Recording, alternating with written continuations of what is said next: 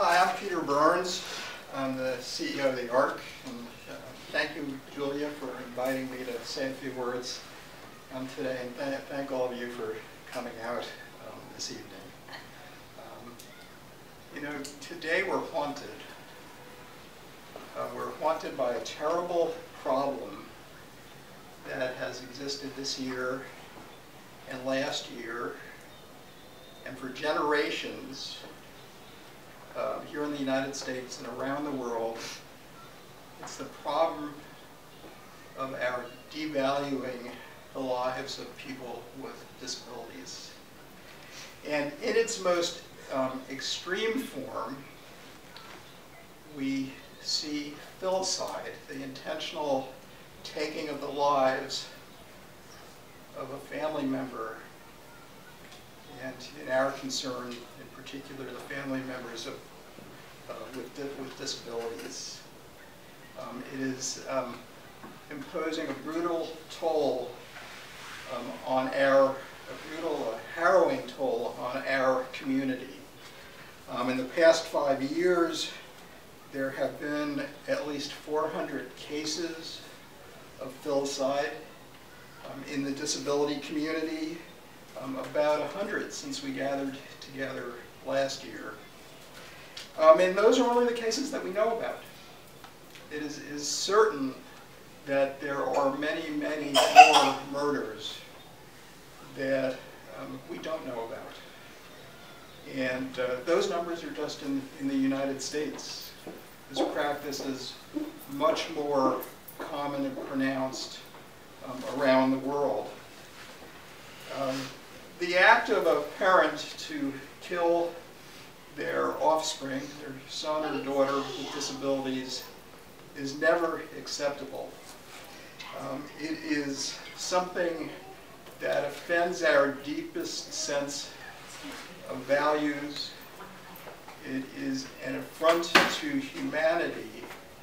And it is really imperative on all of us to stand up and call it exactly what it is, which is murder is a heinous crime, both against the individual and against our society.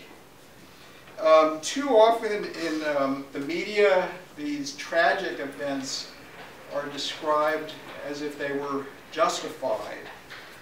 Um, there is a picture painted of the, the beleaguered parent who is laboring under the burden that is imposed resulting from, by their son or daughter, the conditions of their son or daughter. Um, a heavy burden.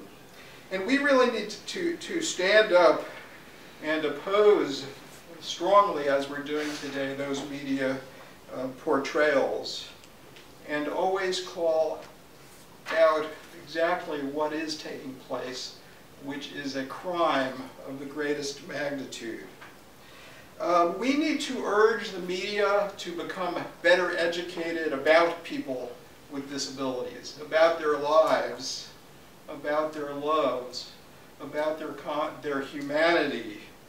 Um, we need the media to be more well educated about disability rights um, and to abandon these wrong-headed conceptions, this wrong-headed conception they have about individuals with disabilities and their relationship with their family members.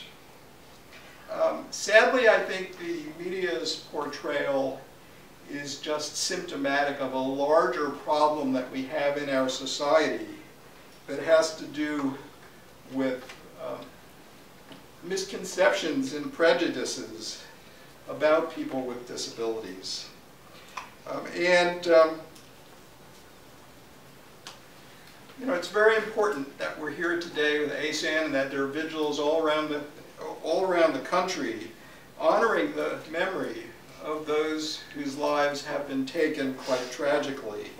And that we take this moment to pause and reaffirm our commitment to fight for the rights of people with intellectual and developmental disabilities, so for all disabilities, um, to fight to change the attitudes that are at the core of this problem that continues to haunt us year in and year out. we must do everything within our power to assure that these crimes are taken seriously um, by the authorities um, and that the perpetrators of the crime um, are, uh, are, the perpetrators of, of the crimes um, are really dealt with to the full extent um, of the law and that justice is done for the victims. Um,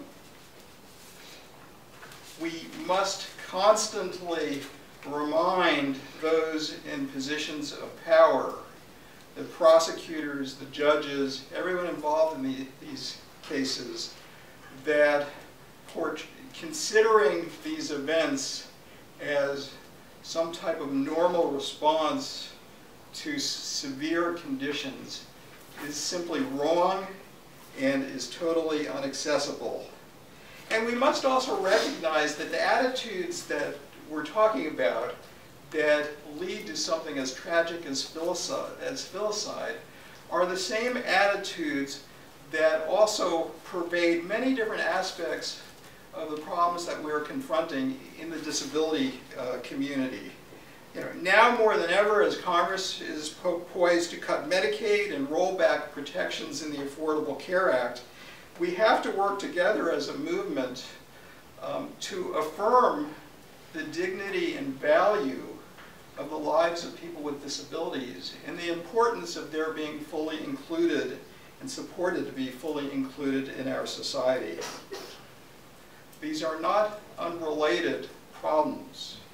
And it all goes back to the core of our needing to, our society needing to appreciate the value of people with disabilities in our communities. I want to conclude just by thanking ASAN for organizing this event and the vigils across the country. It is extraordinarily important. It is very powerful. It's very moving. And it is very necessary for us to do this every year and continue to do this until we are no longer haunted by this terrible problem. Thank you.